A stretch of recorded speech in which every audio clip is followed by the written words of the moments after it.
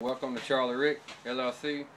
In this video I took a 1930 uh, year table. It was stained wood. Had um, the, the, chairs were stained. The fabric was um, old, ancient. Um, my wife had uh, sanded on it and took too much off. I was gonna revarnish it, but it got ruined on the first sand on top. So then I was like, okay, we started looking online. We found the design we wanted. Uh, and I figured I'd let y'all know what we did. Um, first step is to lightly sand everything. So you want to go through and sand the whole table down. You don't have to take it all the way down. You just want to take the gloss off. Or they got like a gloss remover you can use if you don't want to sand. I sanded mine. Then you take a paint thinner and you put it on a rag and wipe everything down. Well then I use the bonding primer and oil-based bonding primer because we're going over a stain. And I feel like an oil base is usually always what you use over like a lacquer, a stain, or a gloss or something like that. And then you want to have a bonding primer because of the fact that it's going to stick. Alright, so then after after sanding everything, you want to get you like a, a primer gun and an HVLP uh, air sprayer so that you could spray your primer uh, out of the primer gun and use the HVLP sprayer for like your chairs and your legs and stuff.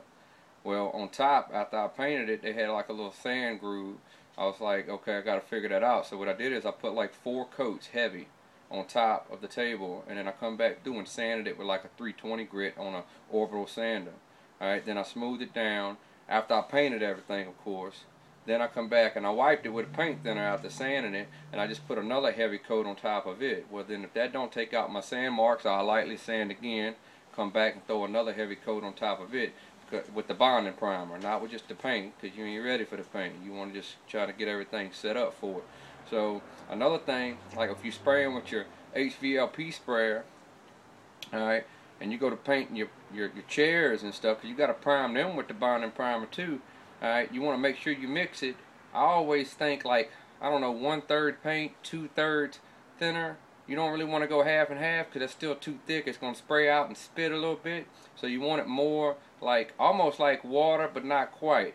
You want it almost like water that way you like ain't no way I'm about to spray that you want it almost like water because it's going to spray better. It's going to be a lot more air and less paint so it spreads it out better. You want to make sure you put paint thinner in it and Penetrol or some type of, I don't know, lay down chemical that you could throw with your paint that allows it to lay down without less runs. Okay, so I'm going to show y'all what I'm doing here. Alright, so you see the table here. Alright, I had a bunch of little grooves in it. This is what I was talking about when I put a bunch of primer coats on it, come back and sanded it, and put another heavy coat on it. So now I believe I got it whipped, but if I have more grooves, I'm going to sand it some more, or I might like it like it is.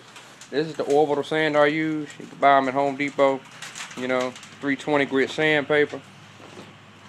The reason why I chose to, to spray mine is I really didn't feel like getting all into like stripping the stain and restaining stuff and then I'd have had to keep it in the same stain color coat just because of the fact that I'd have had to bring it all the way down to wood. And then I found out this wasn't even stained this was um I mean wood. This was plastic. And the top had a top layer of wood but it was press board so then I was like man shit I don't like none of that. I you know but whatever. So I'm at a point now to where I just said screw it I went ahead and primed everything. What I'm actually going to do is keep my primer coat on here. I'm gonna keep the primer coat on here and I'm gonna take and put a um uh, what what is this uh, ultra cover gloss clear on there. I'm gonna put like three or four cans of this and put a nice shine because I like the primer coat look and I want to leave the bottom almost looking chalky a little bit. So I'll probably put like a flat paint or something down there some type of chalk paint on the legs and on the side but on the top and stuff I want to keep it shiny. So I'm gonna spray this on all the chairs and everything. I'm gonna show y'all what the chairs look like too. So um, what I did is I brought this outside, separate room, different colors. I'm going gray with the uh, table. I'm going white with the chairs. So the chairs don't look too bad. They actually come out. We don't have the, the stuff for it yet. You know, that way I'm spraying it with that HV because, I mean, really, you go to brushing all this stuff, what's going to happen is uh, you're going to end up with a lot of brush marks. And um, I don't want brush marks in my stuff. I want my stuff to be sprayed, make it look real nice. You know, and if you do brush it, just put a lot of extra paint thinner in it, Penetrol. That way the brush marks is minimal. You don't really want to have a lot of brush marks in it. So after I'm done with all this, I'm going to lightly sand it one more time.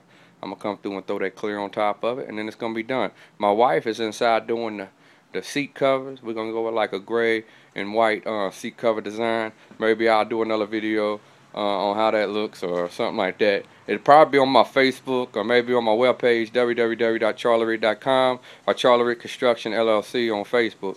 Uh, I appreciate any likes. Uh, I'll be posting this soon. Thanks.